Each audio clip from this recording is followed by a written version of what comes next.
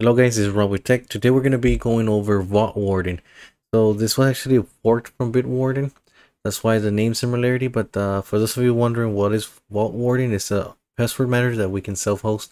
So first of all, uh, looking into this Vaultwarden server, I mean, I have in my GitHub, I'm going to provide the YAML file so we can just copy and paste it into the Open Media Vault. So I'm going to use Open Media Vault uh, the thing is that on Open Media Vault you support 80, so this is gonna conflict. So what we're gonna do is we're gonna set up uh, 80, 81. I mean, it really doesn't matter as long as the port is open on your end. Uh, also, another thing is that you need a form of a, uh, a proxy, a reverse proxy, because uh, this application requires HTTPS and uh, it does not get provided by this application. So if you didn't see my previous video of nginx proxy manager make sure to check that video out because you're gonna need to do that before this. So let's get started. So here in my open media vault i just need to show you networks. We have this proxy network. Now this proxy network i have we do like inspect. We can see that I have several containers in here like Portainer, Nginx proxy manager um I have some of the containers off, but basically what it is is that when we create the Nginx proxy manager, you have to have it in the same network as all the other containers. So that's what this is. So I basically created a new network. I called it proxy dash network. I left it at bridge. Subnet, I did 172.1.0.0 forward slash 24. And then here I did 172.1.0.1. And the IP range, I did 171 1.0.0 forward slash 26 if this is a little confusing. Check out my my previous video on the nginx proxy manager but, but uh, that's where i created that proxy network. So that's where that's gonna come from. Just wanted to give you a quick insight. Another thing is that in the YAML file that i'm gonna use if we go to settings there's this thing in open media vault that came in with open media vault 6 open media vault 7 is the change to compose data path so we already linked this app data a folder. So if we go into our shared shared folders and we check this app data, it's actually just linking to data docker app data. It's just well, just an FYI. So going back to services, compose files, I'm gonna go ahead and create a new file. I'm gonna call this uh, Vaultwarden.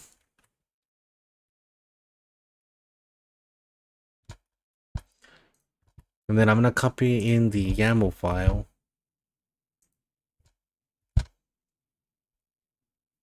Okay, so in here we see that we're going to use port 8081 because if we use 8080, if we just use 80 on this side, which is the side that gets exposed to the open media vault, is going to conflict with the web GUI. The only thing that we're missing here is we need to provide the admin token. So we need to generate this. Other thing is the container name. Make sure we we know the container name. Actually, I'm just gonna call it not with the RS, just vaultwarden.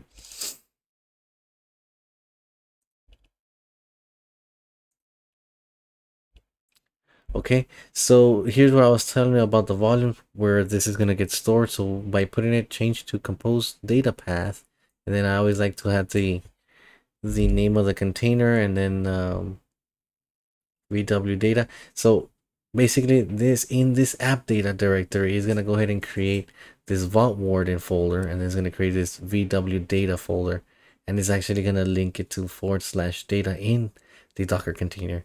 So let's go ahead and generate this admin token. So I'm just going to click save right now. To generate the admin token, we got to open up SSH an SSH session to your Open Media Vault.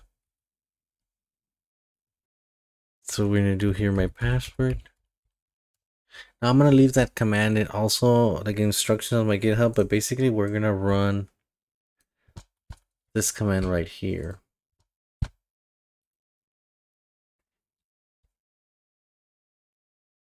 Me remove this, it's just gonna be the Docker run. just basically just gonna download the Vaultwarden image that we're gonna use, which is it vaultwarden forward slash server. Now in here, let's see. Let's try it again. Oh, there's an extra character. They're just supposed to be docker run dash dash rm for remove dash it vaultwarden forward slash server. This is the image, then forward slash vaultwarden hash. Now this is gonna give us a generator our our key. Now here we're gonna provide a password. Make sure you put something secure. This is how you're gonna access the admin panel. Um, not not the web GUI, but um, the admin panel where you can modify SMTP parameters whatnot. So I'm just gonna create a very generic password here. We have to confirm the password. So here's our token. So we can just copy the whole thing. I'm gonna go back to Open Media Vault and find our, our Vaultwarden. I'm gonna edit this. I'm gonna modify our admin token. Now, what we have to remove is this little single quote here in the beginning. We have to remove that. And at the end, we have to remove it as well. Now, the other thing that we have to do to make this string work is you see this dollar signs. We need to add another dollar sign to it because of the way that Docker uh, takes the data. It actually going to manipulate the string. So make sure you just add double up on the dollar sign. So this will be should be a total of five. All right, so there it is. So now I should be able to save this. And I should be able to start it. Let's see. All right, so it started. Now, if you go to the IP address, it's not going to work because, like I said, we needed to add it into a, a reverse proxy. So 40 colon 8081. So I think we create account. We do like, it's going to do a random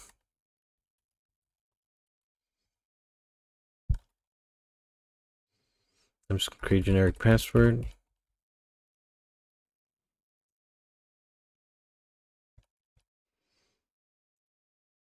Then we're gonna create account.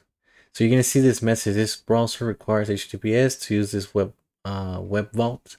This is what I mean that you need a um, reverse proxy. So what we're gonna do, we're just gonna close this. We're gonna go to our Nginx proxy. This is the Nginx proxy manager we already have. So I already have it here.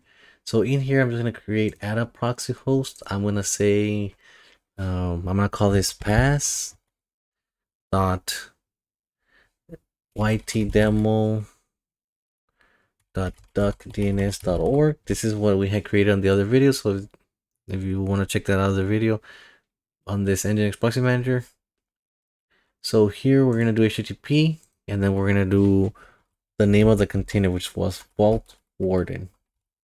Now port, it was using port 80 because you're going to use the port that was uh, on the right side of the, of the compose file. So it's going to be port 80. Then we're going to do WebSockets and block common exploits. SSL, we're going to do the wildcard, force SSL, save. Now if we go ahead and click it, uh, here it is.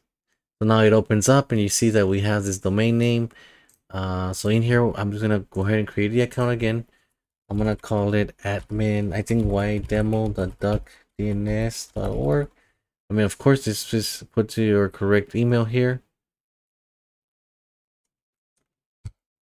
Now, name, your name, password, password, make sure you make something secure because this would be your password vault. Of course, this is an example, so I'm just using a very generic password. So I'm to create,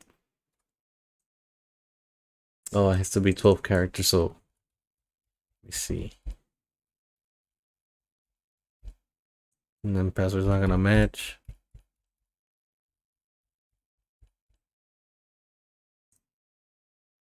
So it says that my password is weak. So of course as an example, so I'm just gonna say yes. Now I'm just gonna go ahead and log in now.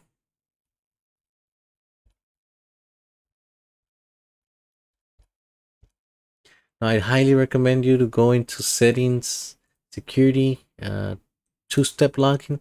Make sure you set up a your authenticator app or any of these services so you can have a, a secure password vault. Also, if you want to set up the email verification codes, you need to add an SMTP server. So uh, we can do that with the admin token. Alright, so uh, before we get to, to do that, we're going to go back to Vault. If you're not familiar with this, just going to be able to click here, new item, you can specify like when you want to add entries like test and then like password You can put a password. Or you can even generate it for you. You generate a password. Copy like that. You also have like the URL. Um, notes. You can just save it. So I'm just going to save this as an example. So now we have our first one. Uh, of course, there's other things that you can add like if you do new item, you also have card identity secret note. Now, if you want to back this up, like in case that you want to move it to another system, what you can do is in settings, you can go into these preferences, no security, somewhere in here. Or no, my bad, tools, and then you're gonna do export vault and make sure you just export as a JSON encrypted. Now here I always use the password protected. I just put a very secure password in here just in case that you want to back up your password in case something happens to them. So that's pretty much it on this Vaultwarden. Now the other menu, menu that I want to show you is, uh, remember the admin token that we set up a password. I'm to go ahead and log out of here. Now here in the IP address, I mean in the name, if you do forward slash admin, it's going to send you to this authenticator key needed. Uh, in here, we're going to specify the password that you use, the one that you generated in the, the token. This is going to be the actual password, not, not the token. So the token gets hashed. So the hash actually is, the password gets converted into the hash. So whenever you put the password here, so this will be the regular password. Like in my case, this is my regular password. Of course, don't use this. So now we're going to enter here. We're going to click here on diagnostics and you're going to see that we have um, like an error for domain. So you see here, no match, no HTTPS. So to fix this, we're just going to go here in settings, in general settings. Now we can just copy here the domain that we used. And then we have to click save here on the bottom. Config save correctly. Now, if we go back to diagnostics, that should clear up our domain message. All right, the other thing that we should do, I mean, if you if you want to get those uh, notification like emails for password changes or security alerts, we gotta go back to settings and then here in SMTP email settings, you have to set up this SMTP uh, email settings to get it working. So the way that I did it to get mine working is I ended up using Google I created a um, generic email, Gmail account. Uh, so if you actually, uh, if you do that, you create a, a, Google, a Gmail account, you can actually Google, what's it called? Uh, Google app passwords. So you're going to find this sign in with app passwords. So there's a requirement. If you create the Gmail, just make sure that you set up two-factor authentication. Uh, once you do that, you can just go down here and then you can specify, where is it? Um, here. You can go under this tab. It says app password revoked after, but in reality, you care about creating a new password, a new app a password.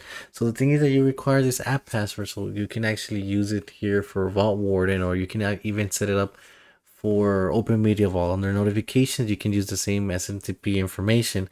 Um, so just like I said, just make sure when you create, if you create just a dummy Gmail, uh, make sure you set up the two-step verification or two-factor authentication. After you do that, you go in here, you can just set up create a new app password. Now keep in mind, every time that you change your password on the account, um, it's gonna erase all your app passwords. So just keep that in mind.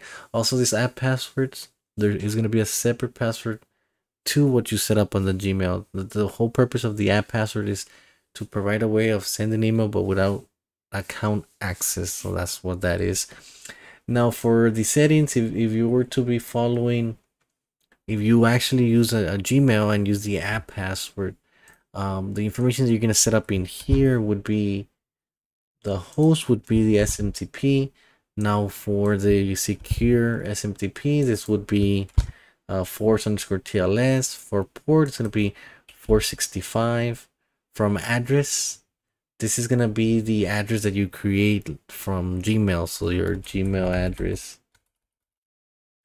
Now from name that's self-explanatory just the, the name that's going to be on the email username this would be the same gmail address you created password, this is going to be the app password that you generated. So the app password. And then that's it. The other thing you do is just once you do that, I mean, of course, mine's not going to work, but you just save. Yes, I don't have the mandatory. So yeah, so in case that you do that, uh, I just want to, I provided you all the information. After you do that, you can just click save, enter here your email address. And then after you enter your email address, you click send test email. And, and if you get a test, I mean, the, if you receive the email, then it worked. Also, you're probably thinking like, from where am I going to get the, the email from, right? Because there's no recipients. But the thing is that when you generated this account, remember that we set up the, so the email that you set up on your account, that's the email that is going to be used to generate or send those emails. That's pretty much it for this guide. I mean, there, of course, there's a lot more stuff in here that you can look at. I'll just poke around in the settings. But that'll be all, guys. Thank you very much. Um, if you all have any more video suggestions, drop it down in the comments. Do you have any questions regarding this setup? Drop it down in the comments. Like the video, make sure you like, subscribe.